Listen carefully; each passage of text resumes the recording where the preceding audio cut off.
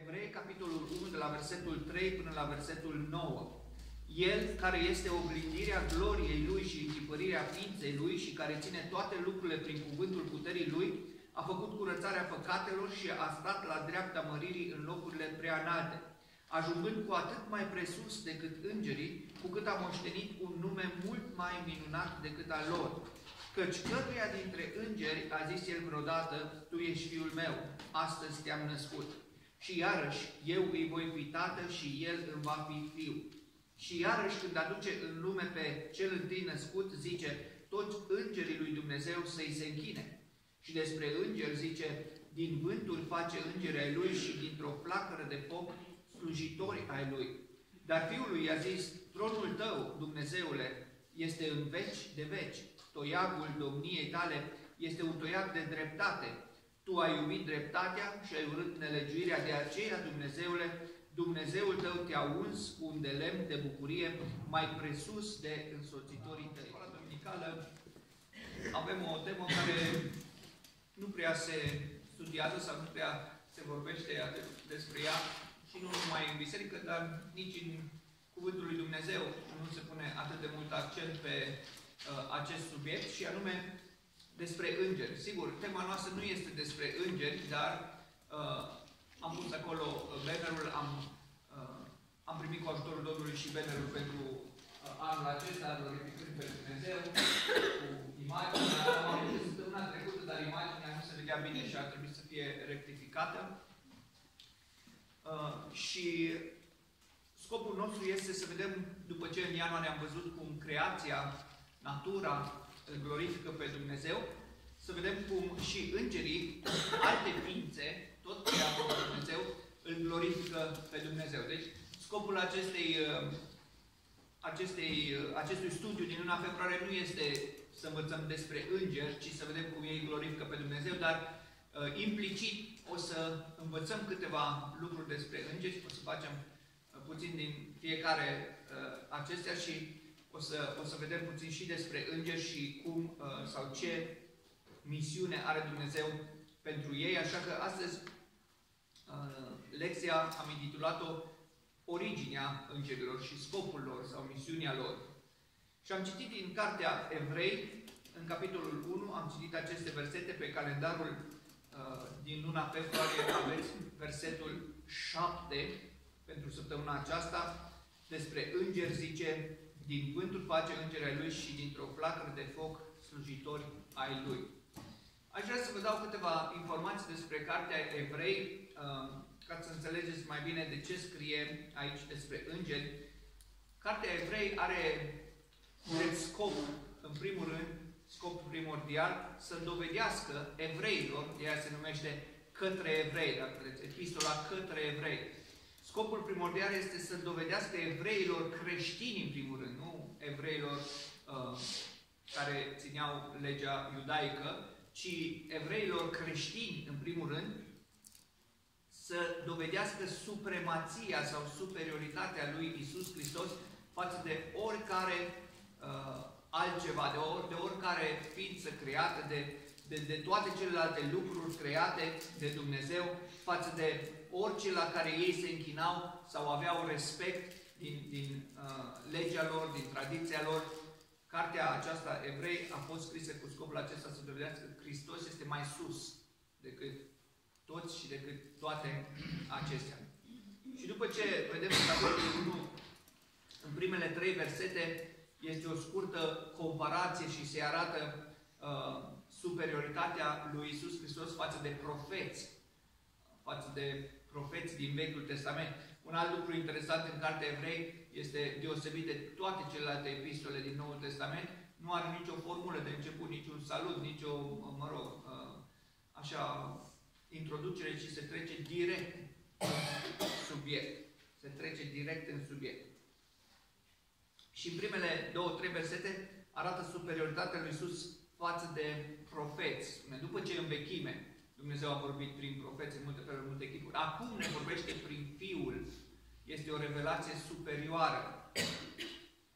Și după aceste versete, restul capitolului 1 și capitolul 2 tratează și arată superioritatea lui Iisus Hristos față de îngeri. pentru noi poate să nu fie așa de important. De ce așa de mult insistă să compare pe Isus cu îngeri și să arate lucrul acesta? Uh, dar oamenii din vremea Vechiului Testament, sfinții din vremea Vechiului Testament, fără să fi cunoscut pe Dumnezeul întrupat, așa cum l-am cunoscut noi în epoca noastră, ei, în schimb, aveau foarte multe experiențe și legături cu lucrarea îngerilor lui Dumnezeu. Erau foarte obișnuiți cu lucrarea îngerilor lui Dumnezeu, inclusiv acel personaj uh, misterios uneori în Vechiul Testament întâlnim Îngerul Domnului, scris cu literă mare. Sunt de multe ori scris cu literă mică Îngerul Domnului, aia înseamnă oricare înger, dar este unul deosebit când este scris cu literă mare Îngerul Domnului. Și îl vedem atunci când vine la Avram, în Genesa 18, când îi se arată lui Iosua înainte de cucerirea Ierihonului și în alte ocazii. De aceea, pentru că evreii și Sfinții Vechiului Testament aveau un respect față de îngeri foarte ridicat, probabil să învățăm mai multe despre asta într-una din lecțiile din luna aceasta, la lucrarea îngerilor, inclusiv legea pe care ei o respectau așa de mult, fost dată de Dumnezeu prin îngeri lui Moise.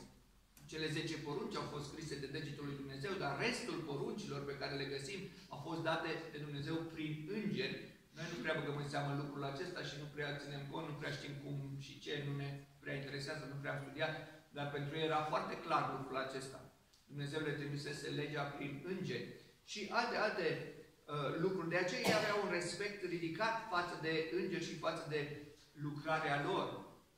Și de aceea, în Cartea Evrei, la început, se, se alocă atât de mult uh, spațiu pentru a demonstra că Isus Hristos este superior chiar și îngerilor pe care ei îi respectau așa de mult. Însă, acest subiect al îngerilor este și a fost întotdeauna înconjurat și de multă superstiție. Din cauza că nu este așa de multă informație clară despre ei, omul a început să viseze, ca să-și imagineze, să uh, devină un subiect foarte, foarte superstițios. Da? Pentru tot felul de uh, ființe extraterestre, da, eu cred în extraterestri, există. Extraterestru înseamnă din afara terei. Îngerii sunt din afara terei. Ei se manifestă și sunt în văzduh, vin pe pământ, merg în cer și sunt multe uh, instanțe care au fost văzuți și au fost, s-au materializat și așa mai departe. Dar este și mult, uh, multă superstiție în jurul acestui subiect, mult uh, misticism sau confuzie sau este învăluit de mult mister, așa că întotdeauna ar trebui abordat cu atenție acest subiect, uh, cu precauție, fără să ne dăm frâul liber imaginației acolo unde Cuvântul lui Dumnezeu nu ne spune clar ce și cum. Cu toate acestea, îngerii există și sunt menționați de multe ori în, uh, în Biblie, uh, un pic ciudat sau paradoxal, mai mult în Noul Testament decât în Vechiul Testament, deși cei din Vechiul Testament au avut mai mult legături cu ei și i-au cunoscut mai mult decât uh, cei din Noul Testament, cu excepția primului secol, în care uh, au avut uh, multe legături cu, cu, cu îngerii și sunt relatate în, în Noul Testament. Dar cu toate acestea, ei sunt activi, există în, sunt activi în creația lui Dumnezeu, inclusiv în lumea noastră. Și prin lucrarea lor și prin existența lor, uh, cei mai mulți dintre ei, nu toți, dar cei mai mulți dintre ei aduc glorie lui Dumnezeu, aduc mărire, laudă lui Dumnezeu și se supun planului său și slujesc planului său. De aceea, luna aceasta, pardon, vrem sau vreau la studiul biblic să scot în evidență acest lucru, cum îngerii uh, slujesc lui Dumnezeu și aduc glorie lui Dumnezeu uh, prin, ceea ce, prin ceea ce fac. Am spus că uh, nu toți, pentru că uh, unii s-au răzvrătit, dar dacă, lăsăm un pic asta la o parte, dacă restul creației, cu excepția omului, se supune necondiționat și glorifică răsunător, am văzut în psalmul 19, răsunetul mărturiei cerurilor despre Dumnezeu ajunge peste tot. Uh, și constant, zi după zi, noapte după noapte, una la alta mărturisesc uh, gloria lui Dumnezeu. O parte din îngerii creează Dumnezeu, însă, mai exact ne spune Biblia că a treia parte l-a urmat pe Lucifer în rebeliunea lui față de Dumnezeu și acum uh, nu se supun lui Dumnezeu. În cartea Apocalipsa ni se dau aceste informații în care uh, Lucifer a convins a treia parte din îngeri să-L urmeze în răzvrătirea Lui și ei nu se supun acum lui Dumnezeu. Însă noi nu vom învăța despre aceștia în sudul nostru, ci despre majoritatea lor da? care au rămas supuși, loiali lui Dumnezeu și care, la fel ca și creația despre care am învățat în luna ianuarie, dar, sigur, prin alte mijloace, dacă Uh, la creație am văzut că cerurile vestesc gloria lui Dumnezeu, o zi istorisește alteia și aceasta fără vorbe, fără cuvinte, pentru că ei nu, creația aceasta nu are vorbe și cuvinte, însă îngerii au mult mai uh, uh, diverse, diversificate mijloace și capacități și abilități de a aduce glorie lui Dumnezeu, mult mai mult decât creația necuvântătoare, să zic așa. Dar tot, la fel, și aceștia îl glorifică pe Dumnezeu prin mijloace mult mai avansate și aduc glorie uh, lui Dumnezeu. Dacă citim în uh, Matei 26, cu 53, este Domnul Isus Hristos aici când uh, a fost trădat de Iuda și uh, au venit uh, trimișii Marelui Preot cu soldații să aresteze și spune aici Petru a scos sabia ca să-l apere pe Domnul Isus Hristos. Domnul Isus i-a spus, pune sabia la loc și îi spune lui Petru, crezi că n-aș putea să rog acum pe Tatăl meu și El mi-ar pune la îndemână sau la dispoziție mai mult de 12 legiuni, o legiune fiind formată din 5.000 de soldați, mai mult de 12 legiuni, acum într-o clipită de îngeri care să mă apere de aceștia, zice Domnul Isus Hristos. Iată, ei sunt la îndemâna lui Dumnezeu oricând să facă și să împlinească ordinele lui Dumnezeu. Și Domnul Iisus Hristos era, uh, era conștient de lucrul acesta și prin aceasta îngerii aduc glorie lui Dumnezeu. Haideți să învățăm câteva lucruri dimineața aceasta despre originea uh, îngerilor. Nu o să acopăr toate versetele din Scriptură. Din nou spun, scopul studiului nostru nu este să învățăm despre îngeri, ci să vedem cum ei glorifică pe Dumnezeu. Dar pentru aceasta o să atingem puțin și despre învățătura despre îngeri. Și pentru că există această confuzie sau acest misticism sau mister, aș vrea să cunoaștem câteva versete, să vedem ce spune Scriptura despre ei, uh, că ce spun oamenii știm. Sunt ființe înaripate, pictate, frumoși și așa mai departe. Uh, veți fi surprins să vedeți în Biblie că cei mai mulți dintre îngeri nu au aripi. Da? Peste tot în artă apar îngeri cu aripi, dar sunt doar câțiva specifici care au o slujbă specifică și care au aripi și Biblia vorbește despre ei, dar cea mai mare parte dintre ei nu au aripi. Da?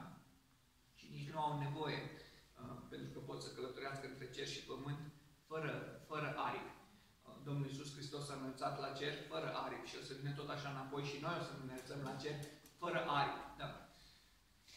Deci, originea îngerilor, uh, mai întâi, hai să vedem că îngerii sunt ființe create de Dumnezeu sunt ființe create, la fel ca și noi, la fel ca și toată creația, restul creației. Uh, ca și diferență de noi și ei, ei sunt ființe cerești. Noi am fost creați ca să populăm pământul, dar ei, uh, locuința lor este în cer, ei sunt ființe cerești. În versetul uh, nostru din Evrei 1, versetul 7, vedem despre îngeri zice, din vânturi face, El face, îngerii ai Lui și dintr-o placă de foc slujitori ai Lui. Îngerii sunt uh, ființe create.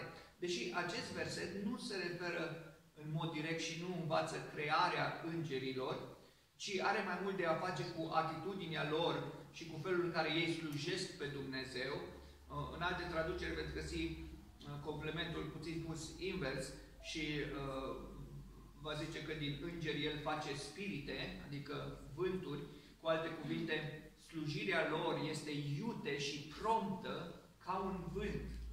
Da? Imediat sunt aici și dincolo, la porunca lui Dumnezeu. Despre asta spunea Domnul Isus. Crezi că n-aș putea acum să cer Tatăl meu și mi-ar pune la dispoziție imediat? Da?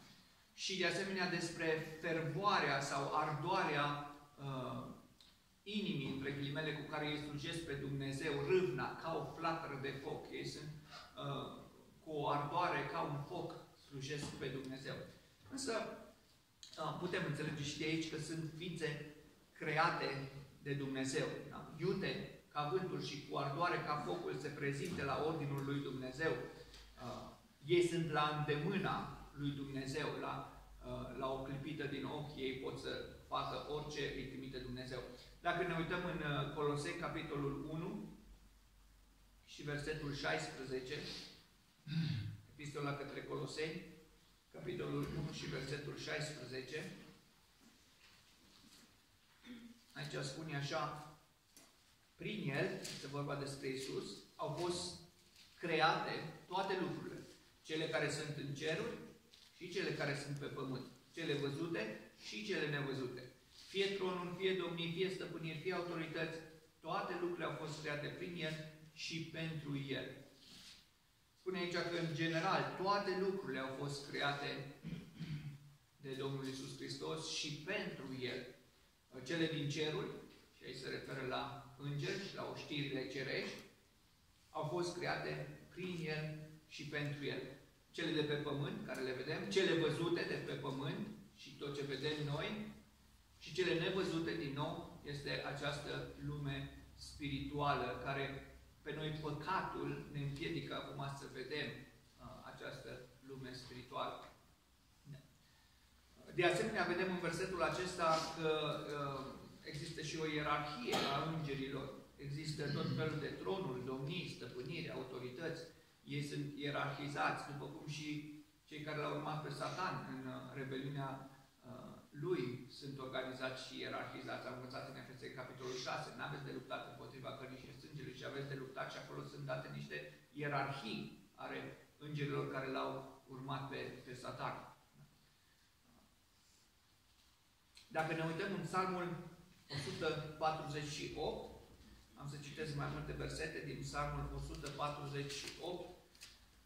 Primele, să ne uităm la primele șase versete sau cel puțin am să spicuiesc pe aici, pe acolo, din primele șase versete, Psalmul 148, spune, lăudați pe Domnul, lăudați pe Domnul din înălțimea cerurilor, lăudați-L în locurile cele înalte, lăudați-L toți îngerii Lui, lăudați-L toate oștirile Lui, Apoi spune despre soare, lună, lăudați stelele luminoase, cerurile cerurilor, ape, voi care sunteți mai presus de ceruri.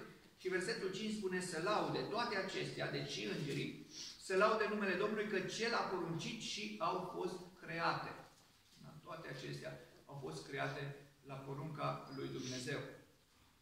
El le-a întărit pe veci, versetul 6, le-a dat legi și nu le vor călca.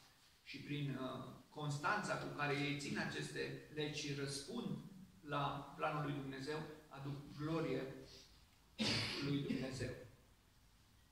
El a poruncit și ele au fost create. Deci îngerii sunt ființe create de Dumnezeu, sunt ființe cerești, locuința lor, în al doilea rând, este în cer. Este în cer. Domnul Iisus Hristos le răspunde saducheilor care îl ispitesc. Saducheii nu cred în înviere, nici în înger, nici în Duh. Pavel a făcut o mică răzvrătire între ei atunci când uh, erau și farisei și saduchei și a aruncat această, uh, acest subiect al învierii și imediat au început să se certe între ei, fiindcă fariseii cred în lumea nevăzută, în înger, în duh, în înviere, în timp ce saducheii sunt materialiști, adică uh, doar ce se vede și ce putem pune mâna. Și Saducheii l-au ispitit pe Domnul Isus Hristos când vreau să găsească un motiv să-L aresteze și să-L omoare cu acest subiect al învierii. Da? Și a zis, dacă o femeie uh, va avea șapte frați, bărbat, uh, soți aici pe pământ, după cum era legea lor, că dacă moare un om, fratele lui trebuie să ia soția mortului ca să ridice numele. Și tot așa au murit toți șapte. Și saducheii în bagiocură i-au prezentat această ipoteză și au zis, dacă ar fi înviere, au sugerat ei, la înviere, cu cine s-ar ar trăi femeia asta? Că a avut pe toți șapte soți. Domnul Iisus Hristos în răspunsul lui spune, voi, voi vă rătăciți, fiindcă nu cunoașteți nici Scriptura, nici nu cunoașteți nici puterea lui Dumnezeu, adică nu credeți în înviere prin puterea lui Dumnezeu. Și Domnul Iisus spune la înviere, nici nu se vor mărita, nici nu se vor uh, însura, ci vor fi ca îngerii lui Dumnezeu în cer. Asta vreau să scot în atenție pentru punctul nostru. În cer. Locuința lor este în cer. Da? Dar fiind uh, duhuri, ei nu au un trup material ca al nostru, însă au un trup duhovnicesc și ei pot circula instantaneu între cer și pământ și se pot materializa uh, în orice trup pentru a împlini poruncile și, și planurile lui Dumnezeu.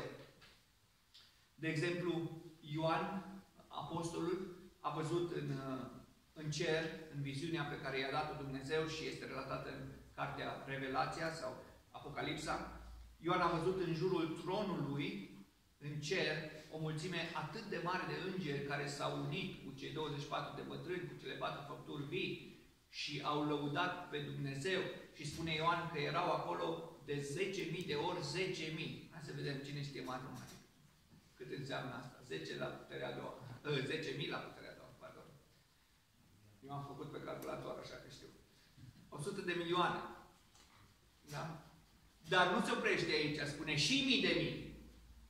Le-a pierdut numărul acolo, da? Deci erau de 10.000 de ori 10.000 și mii de mii. Din nou, ideea care vreau să scot aici este că ei sunt în cer, locuința lor este în cer. Nu sunt legați să rămână acolo, dar după cum locuința noastră este aici pe pământ, locuința lor este în cer. Apocalipsa 5 cu 11 este versetul care, uh, despre care v-am menționat. În Genesa, la capitolul 18, avem, uh, uh, mă rog, o relatare în care îngerii lui Dumnezeu l-au vizitat pe Avram și spune acolo în Genesa 18 că erau trei bărbați. Da? Deci ei se pot întrupa și lua diverse uh, trupuri, chiar dacă ei uh, nu au trupuri materiale, fiind duhuri. Și au venit la Avram, au vorbit cu el, Avram a fost ospitalier, le-a făcut de mâncare, le-a uh, i-a stat la masă și ei au spus despre fiul care urma să-l aibă, Avram, fiul promis, și apoi au plecat de la el. Unde au plecat? Cine știe? La Sodoma. Au plecat la Sodoma. Însă, unul dintre ei cu care Avram tot vorbea, este numit Domnul meu. Da?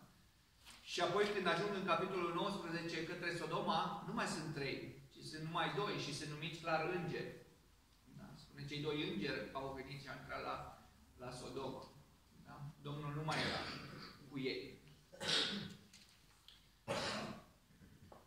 În Evrei, capitolul 13 și versetul 2, ne lămurește asupra acestui eveniment din Genesa 18 și spune aici să nu uitați, să nu dați uitării primirea de oaspeți, fiți ospitalieri, căci unii prin ea au văzuit fără să știe pe îngeri, și se referă exact la această întâmplare cu Avram și cei trei bărbați în Genesa 18.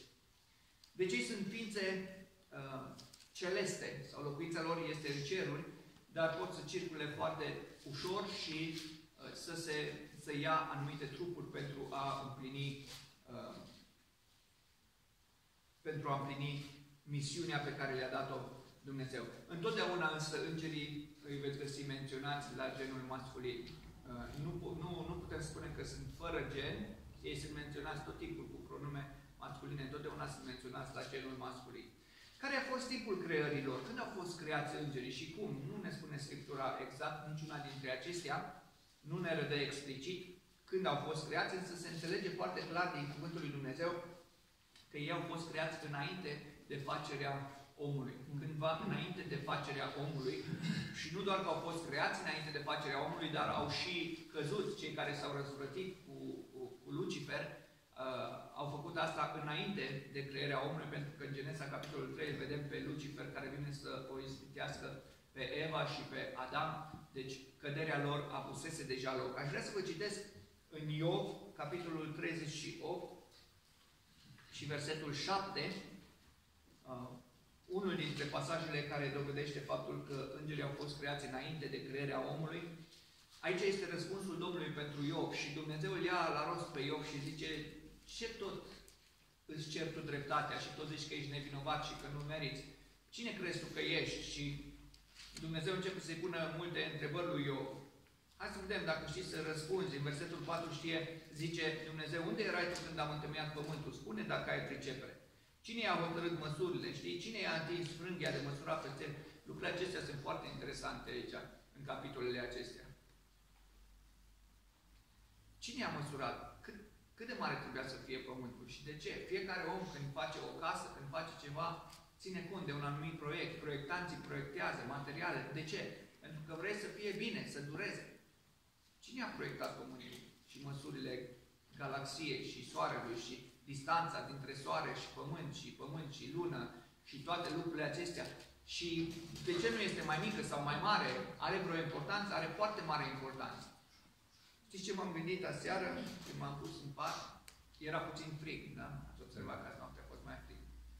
Și am încercat, am încercat să, să fac ceva ce uh, mi-am amintit că Lidia face de obicei ca să rezolve problema asta, să bag nasul sub pătură și să răsuflu acolo ca să încălzesc aerul. Da? Și după aia imediat mi-a venit în minte, dar dar o să termin oxigenul aici foarte repede, adică eu ce fac, ce mai respir, numai aer din ăsta uh, intoxicat da, în mintea mea. Și după aia imediat mi-a venit în minte, în zis, dar cine face aerul ăsta ca să fie exact ce ne trebuie nouă, cu compoziția care ne trebuie, să nu ne asfixiem. Și în timpul copilăriei mele uh, era destul de des când auzeam și uh, Uh, mama mea tot uh, ne-a avertizat tot timpul pe mine și pe tata. Oamenii aveau garaje, țineau mașina în garaj, aveau grijă multe de ea și din când în când auzeai cum un om a, a murit intoxicat în garaj, că a dat drumul la motor și a ținut poarta închisă la, la garaj, fără să-și dea seama, n-a mai putut să facă nimic, a inspirat acele gaze și a murit, n-a mai putut nici să oprească motorul sau să iasă afară până la, la ușă. Și am stat să mă gândesc, noi când avem așa, vrem să deschidem ușa, să aerisim, da? să vină aer curat sau geam. Dar întreaga atmosferă asta, cine o aerisește a Pământului? Și cine face ca aerul acesta să fie perfect? Ceea ce ne trebuie. Sigur, nu mai este perfect acum, dar totuși, noi nici nu ne gândim că în timp ce inspirăm, dacă ar avea puțin altă compoziție, am cădea jos. Cine face toate lucrurile acestea? Este Dumnezeu care face În sfârșit, versetul 7 aici, în Iov 38, Dumnezeu îi spune lui Iov, cine a pus piatra din capul unghiului care ține pământul aici unde este, uh, pe această orbită și atunci când stelele dimineții cântau în cor și toți fiii lui Dumnezeu scoteau strigăte de bucurie. Toate acestea Dumnezeu scoate în evidență că s-au întâmplat înainte ca Iov să fie existat, înainte ca oamenii să fie existat și aici uh, sunt numiți în general îngerii ca și fii ai lui Dumnezeu, pentru că ei au fost creați de Dumnezeu. Niciodată un înger anume n-a fost numit Fiul lui Dumnezeu. Domnul Iisus Hristos este singurul care a primit, de aceea spune aici în Evrei, uh, în capitolul, în capitolul 1, versetul 5, căruia dintre îngeri a zis el vreodată, Tu ești Fiul meu, asta ți-am născut. Ei sunt numiți fii ai lui Dumnezeu, în general, fiindcă au fost creați de Dumnezeu. Și noi, oamenii, suntem numiți fii ai lui Dumnezeu, în general, ca și creație. Dar Domnul Iisus Hristos este numit Fiul lui Dumnezeu. Uh, îngerii au fost creați înainte de crearea oamenilor și Dumnezeu i-a creat un număr fix. Ei nu au capacitate reproductivă. Da? Ei, ei au fost create la început un număr fix și au rămas uh, așa toți odată au fost creați. De asemenea, ca și oamenii, ei sunt ființe care vor exista pentru totdeauna. Dacă citim în Luca, la capitolul 20 și versetul 36, Luca la capitolul 20, versetul 36, uh, spune, nici nu vor putea muri, căci vor fi ca îngerii. Ei sunt fii ai lui Dumnezeu. Ei vor exista pentru totdeauna dar au fost creați înainte de crearea omului și au și căzut înainte de crearea omului Lucifer și cei care l-au urmat. De asemenea, îngerii sunt ființe superioare omului. Sunt ființe superioare. Dacă citim în Evrei, capitolul 2, am spus că 1 și 2 se ocupă mult cu îngerii. Și în Evrei, capitolul 2, de la versetul 6, uh, este citat, spune aici, ba încă cineva a mărturisit undeva. Acest undeva este Psalmul 8, versetul 4, 5, Ce este omul, ca să-ți aduci aminte de el? Sau fiul omului, ca să-l cercetezi? Ideea este, ce se dă așa mare omul ăsta? Cine se crede el? Că e islam. Nu este printre cele mai superioare din ființele create de Dumnezeu. Și spune aici în versetul 7, l-ai făcut cu puțin mai prejos decât îngerii. Însă, Dumnezeu are o slăbiciune față de noi oameni, între ghilimele slăbiciune. Că am fost făcuți după chipul și asemenea lui Dumnezeu. Chiar dacă îngerii sunt superiori ca și ființe omului, spune, însă toate le-ai supus la picioarele lui, l-ai pus peste lucrările mâinilor tale, l-ai încununat cu glorie și cu onoare. Și toate le-ai pus la picioarele lui puțin mai prejos decât îngerii. Din cauza păcatului, omul a pierdut această strălucire. Și spune aici la sfârșitul versetului 8, vedem că acum nu mai sunt toate supuse lui așa cum ai făcut-o la început și l-ai pus stăpân peste toate lucrările tale. Din cauza păcatului, omul a pierdut această stăpânire. Și spune aici chiar și Isus, pentru că a trebuit să ia chip de om, Chiar dacă nu l-a moștenit pe Adam, nu a moștenit firea, pământ, ă, firea pământească de la Adam, totuși, luând chip de om, și el a trebuit să se umilească și să se pună mai prejos decât îngerii. Mm. Pentru puțină vreme, zice aici. Versetul 9. Vedem pe Isus, care a fost făcut pentru puțină vreme mai prejos decât îngerii. Că a devenit om. Totuși, el este încununat cu glorie și onoare, pentru că prin moartea sa, ca și om, prin viața sa fără păcat, prin moartea sa, prin învierea sa și prin înălțarea sa la dreapta Tatălui, i-a depășit din nou pe da? Pentru puțină vreme a fost făcut mai prejos ca și îngerii, se referă la faptul că îngerii sunt ființe superioare omului. Dar uh, Isus a fost înălțat din nou mult mai presus decât îngerii. Uh, 2 Petru capitolul, pardon, ba da, 2 Petru capitolul 2 și versetul 11. 2 Petru capitolul 2 și versetul 11 spune pe când îngerii care sunt mai mari în tărie și în putere, se referă decât oamenii, nu aduc înaintea Domnului nicio judecată bagiocoritoare împotriva lor stau la locul lor, se abțin, n-au atâta îndrăzneală să comenteze cum au oameni. Da. Deși, spune aici, sunt mai puternici, versetul acesta scoate în evidență faptul că, deși îngerii sunt superiori omului, totuși sunt supuși și glorifică lui Dumnezeu prin această atitudine smerită a lor, în timp ce omul care, deși este mai prejos, nu se teme să vorbească lucruri mari și ne la locul lor înaintea lui Dumnezeu. Și asta ne duce înapoi la Evrei 2 cu 6. Ce este omul ca să-l bagi în seamă? Cum de dai dreptul să facă lucrurile astea? Aceasta este originea îngerilor și câteva lucruri despre crearea lor.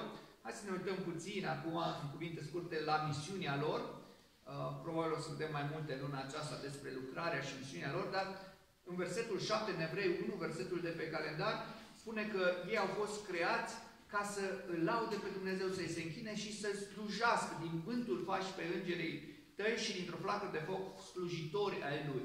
În general, misiunea îngerilor este să fie slujitori ai Lui Dumnezeu, să slujească Lui Dumnezeu.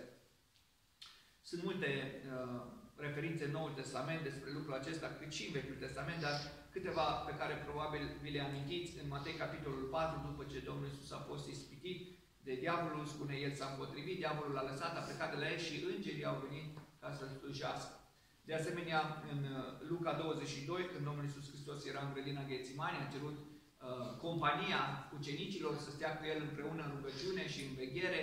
Ei au adormit, el a stat în rugăciune, uh, a fost așa de mare agonia spirituală în rugăciune și în ce avea să vină, încât spune că el a transpirat picături de sânge, uh, s-a transformat atât, atât de, de, de uh, mă rog, uh, intensă a fost uh, rugăciunea lui și, și lupta aceea spirituală, încât uh, a, a sudat cu picături de sânge. Uh, fost istovitoare acea rugăciune. Apropo, v-ați rugat vreodată cât să obosiți? Nu numai din cauza timpului, nu asta se referă acolo, dar din cauza intensității uh, spirituale a rugăciunii. De asta am zis și am învățat despre rugăciune, că de multe ori rugăciunile noastre se opresc la tavan. Pentru că facem rugăciuni de ochii oamenilor, spunem poezii, spunem formule de introducere, de sfârșit. Da? Și atunci spune că după acea rugăciune un înger s-a arătat ca să-l întărească, să-l încurajeze, să-l îmbărbăteze pentru ceea ce avea să vină.